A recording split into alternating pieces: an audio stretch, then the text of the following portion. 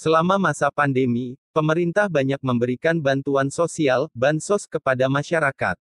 Salah satunya adalah bantuan untuk para karyawan swasta lewat bantuan langsung tunai, BLT, subsidi gaji. BLT subsidi gaji ini diberikan kepada para karyawan swasta yang memenuhi kriteria.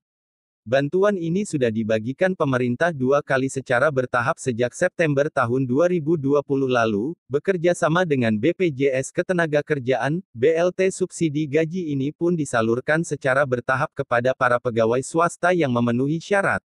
Di tahun 2021 ini, BLT subsidi gaji kembali dinantikan dan digadang-gadang akan segera cair. Namun, nyatanya pemerintah justru dikabarkan menghentikan bantuan ini untuk para karyawan. BLT subsidi gaji berhenti diberikan, sosok ini pun langsung melayangkan protes pada Presiden Jokowi. Mengutip dari Kompas.com, Presiden Konfederasi Serikat Pekerja Indonesia KSPI, Said Iqbal mengatakan, pihaknya telah melayangkan surat permohonan lanjutan program bantuan subsidi upah, BSU, kepada Presiden Joko Widodo, Jokowi, Rabu, tanggal 10 Februari tahun 2021. Kami kirim siang ini. Kami sudah mengirim surat kepada Pak Presiden Jokowi, meminta berbaik hati tanda petik lahya kebijakan beliau untuk tetap memberikan BSU kepada buruh.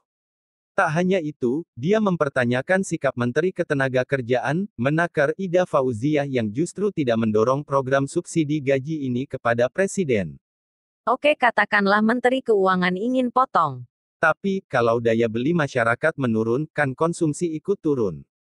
Investasi kan lagi turun. Daya beli turun, konsumsi turun jadi apalagi yang mau diandalkan untuk pertumbuhan ekonomi, tambahnya. Perlu diketahui, Kementerian Keuangan Kemenkeu telah memastikan bahwa bantuan subsidi gaji tahun ini tidak akan dilanjutkan. Adapun program jaringan pengaman sosial, safety net, yang masih dilanjutkan tersebut di antaranya bansos berupa sembako, program kartu prakerja, bantuan langsung tunai, BLT, Kementerian Sosial, dan BLT untuk dana desa.